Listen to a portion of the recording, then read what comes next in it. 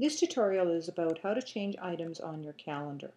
There are a couple of different ways to do it, but the easiest way is right here in the upcoming events. So for example, if you have an early dismissal at the wrong time or the wrong date, you simply click on that hyperlink and then you can go to edit item.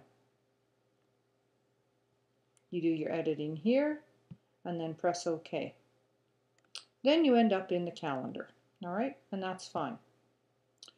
If you have an item that is not showing up on the upcoming events, but it is in your calendar and you've done it for a later time, select Calendar,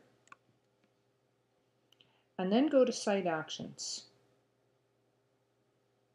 Go to View All Site Content, and then scroll down in your lists, and here's the local calendar. So now each of these links is a hyperlink. So for example, if you wanted to change the interim report cards, you could do that right there. And again, just go to edit item and lo and behold, change it and away you go. You can also delete the item or whatever. That's all there is to changing your calendar.